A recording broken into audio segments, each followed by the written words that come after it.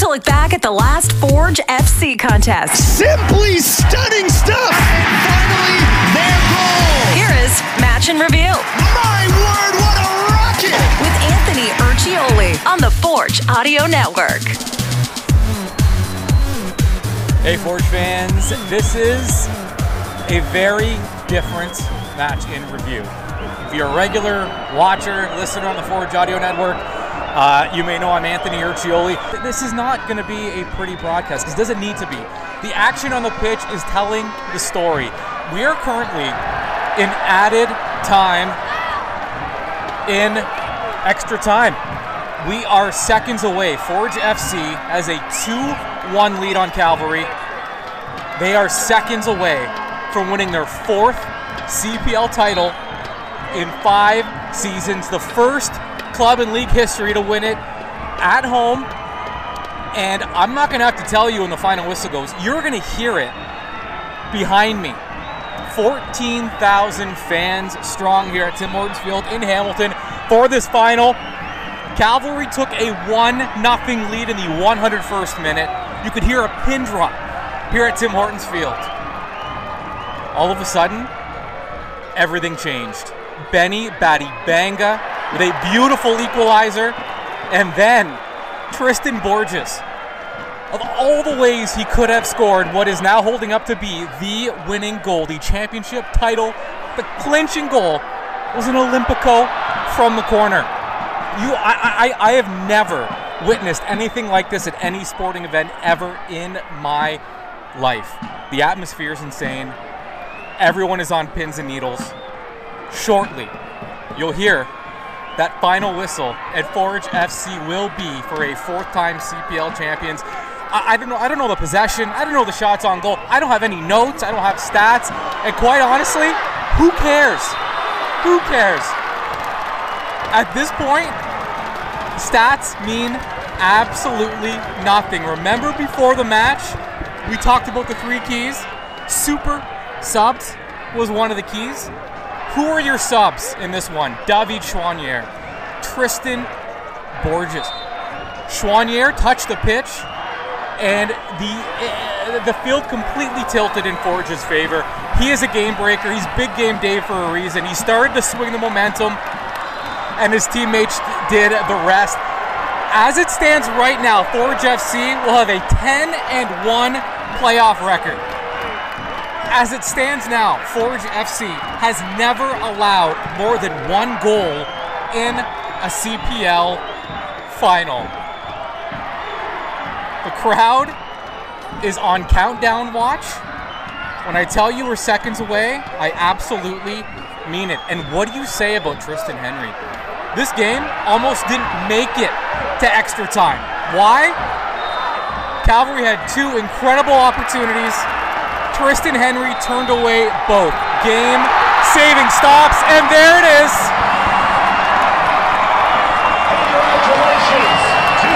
Forge FC rallies from a goal down in extra time to win the CPL it's, uh, it's unbelievable. Dynasty doesn't even do this team justice anymore.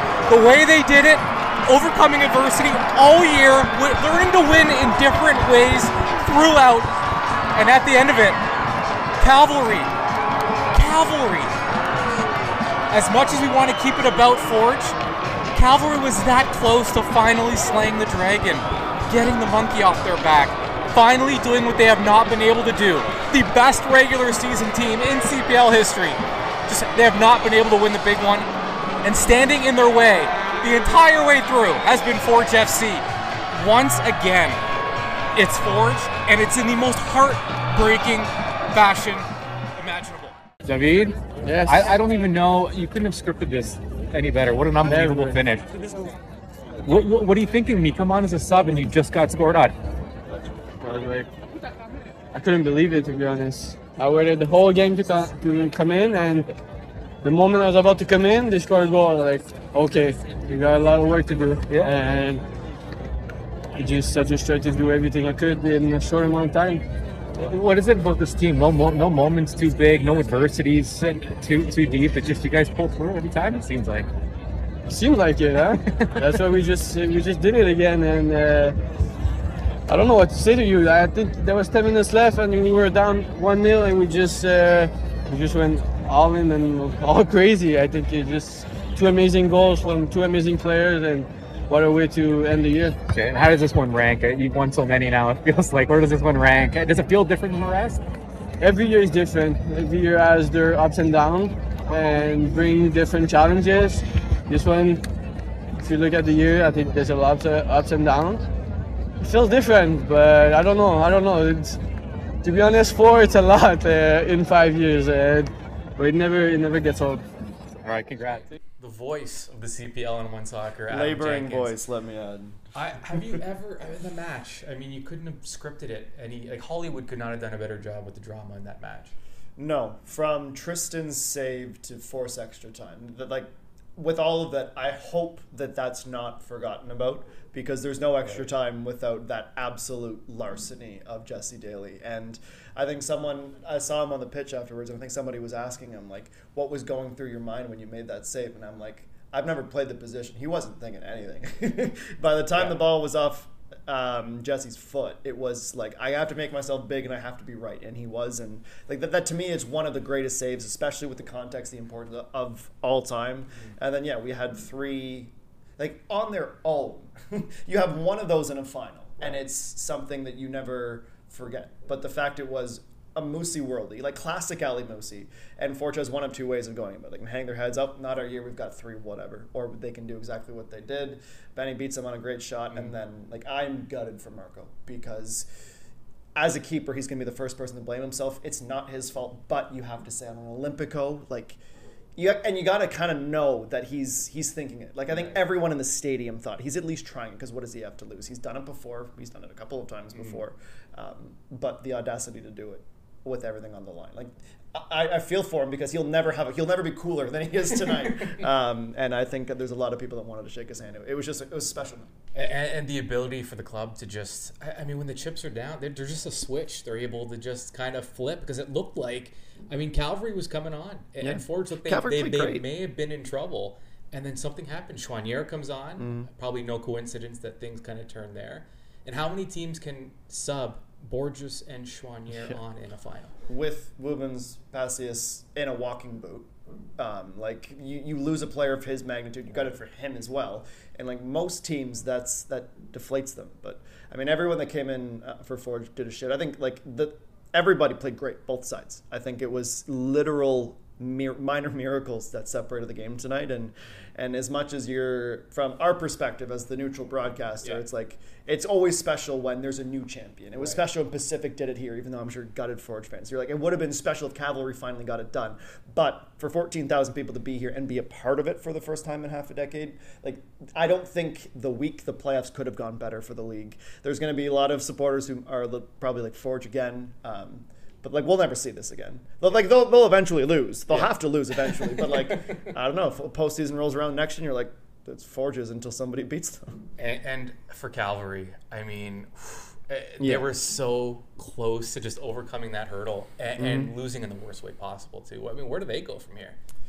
I I mean, I remember the conversations in the semifinal last year. Like they play well and then they don't get it done, and it's it's different this year. It really is, as much as that might seem like a, a cop out from their perspective. But does the, the this the CPL or the North Star Cup is a bonus? It doesn't age well after what Tommy said yesterday, but he's also not wrong. They will be in Concacaf Champions Cup with Forge next year in February. They had an incredible season. That regular season was as dominant as we've seen, but again this year, this off season, all the regular season next year until next October, it's going to be.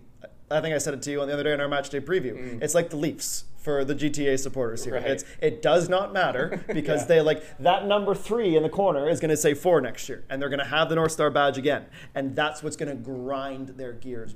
But because they lifted the CPL shield, because they're in Concacaf Champions Cup, it stings less. But uh, yeah, you, you walk through them, you see them going to the bus, and they're almost speechless Yeah. because they did play so well, and it's just Forge again. Yeah, it is. Adam Jenkins. This is twice now in like less than a week. I know. Even This is special. It is special.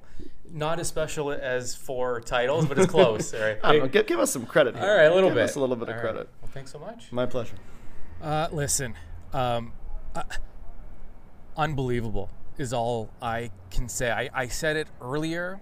Now that I've seen the, the, the celebration, the presentation, um, now that I've dodged uh, a lot of champagne from the players, I got to tell you, I stand by what I said earlier. That was just something I've never been a part of in, in person. If you were here at the CPL final at Tim Hortons Field, you know what I'm talking about. Uh, if you weren't, I, I don't want to bum you out, but I don't know that we're ever going to. I mean, everything we talked about, all the storylines, Cavalry trying to get over the Forge hurdle, the, the the experience, the guys like Choiniere and Bekker and Borges and Henry and Ashton Yodi Janssen and Dominic Samuel, guys that have been here from day one. I mean, they not only come. How many clubs can can, can sub on a Borges and a Choiniere? Cavalry, who really, I mean, they played well, and they probably played well enough to win. They were up. They were up in extra time, and Forge, they, they just looked like they didn't have much life leading up to that goal. All of a sudden, Choiniere gets subbed on, and just the, the, the game, uh, it just changed completely.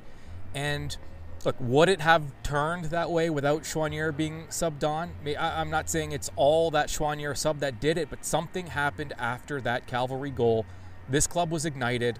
They, they did what they do they can flip a switch like it's it's like nothing I've ever. It, it, it's so rare. You know, I spoke to Béni Badibanga. Um, I don't know if that footage is going to make it into this match in review because it was in the locker room while the champagne was going, and I was trying to avoid my, my phone getting soaked. It was loud. There was music. Um, not even sure if that's usable. Um, so if it's not, I will just reiterate something. He's that goal from Benny. Now remember, he was a he came in you know two thirds into the, the, the CPL season and joined Forge and hit the ground running and I talked to him and I, I I said Benny you've only been here for a few months it feels like you've been here for years and he just he looked up and he said those guys in there those are my brothers how quickly teammates can turn to family just on a dime like that um, his goal his dying his his dying goal he said it's something he's worked on. If, if you haven't seen it yet, make sure you check it out. An absolute banger. And he said, I, I practiced that. That look that Cavalry gave me, that's the look I wait for every single game. And I saw it and I didn't hesitate and I buried it. And Benny Batty Bang, the X factor in this one, the guy who it's he's one of the newbies, the newest member of Forge. And he played a huge role He's a guy that stepped in as Forge battled injuries.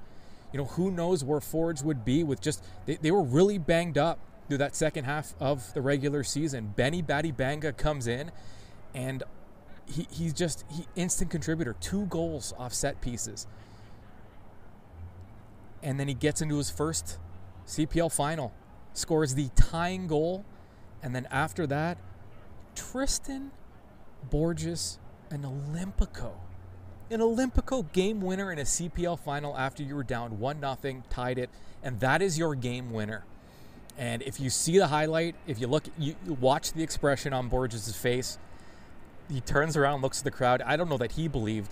Uh, I, I mean, I'm sure there's a part of him that believed he could score from there. He wouldn't have tried it.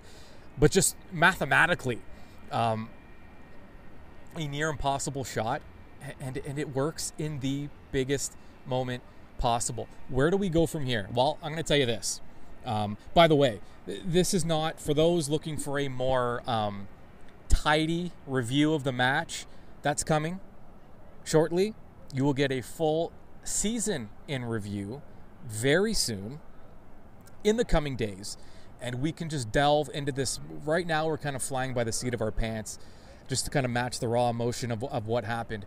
Um, where we go from here is I don't know. There is CONCACAF next year. That is the next step in terms of just adding to the accolades. Um, but four titles in five seasons, the first, their first at home, the first CPL CPL club ever to win at home. If you're new to this team, new to this franchise, it has been a dynasty building, building, building. I can't, I'm not saying it's over by any means, but if for some reason, you know, they don't win the next championship, I mean, this is this is more than anyone could have asked for. So, unbelievable finish to a completely wacky, unpredictable season. And with that, your Forge FC are CPL champions for a mind blowing fourth time. This league has only seen five championship matches in its history. Forge has played in all of them, and they've won four. And uh, th- th- this is I-, called it a dynasty. I don't even know. I mean, it's it we're, we're past that. We it was probably a dynasty coming into this match. This just puts an unbelievable exclamation point on that fun season. Fun season with you, the listeners on the Forge Audio Network. It's been fun for me.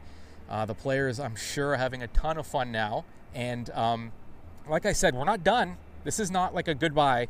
We have more coming. We'll have a full season rev- in review in the coming days. The Forge Audio Network lives on even past the season because don't forget, we also have a lot of CONCACAF to talk because that's coming up in just months.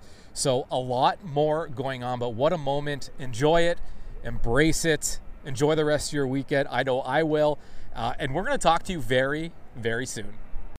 This has been Match in Review with Anthony Urciuoli on the Forge Audio Network. For the latest on all things Forge FC, subscribe on Spotify or wherever you get your podcasts.